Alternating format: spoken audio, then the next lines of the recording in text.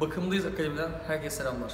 Sizlere bu videomuzda Mercedes CLA 180 araç arızası hakkında bilgi vereceğiz. Müşteri şikayeti yüksek devirlere geldiğinde siyah duman atması, yüksek oranda araçta yakıt sarfiyatının olması ve aynı zamanda araçta yağ eksiltme şikayeti olduğu ile alakalı geldi. Yaptığımız tespitler sonrasında aracın turbosunun etrafında yağ terletmelerinin olduğunu gördük.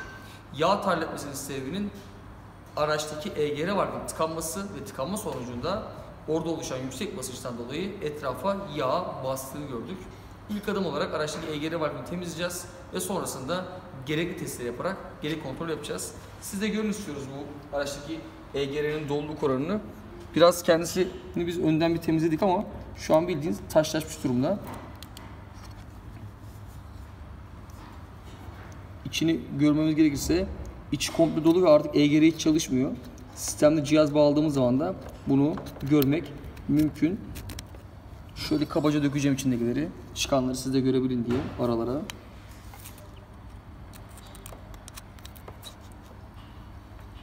Evet görüldüğü üzere aracın EGR'si ağzına kadar dolu.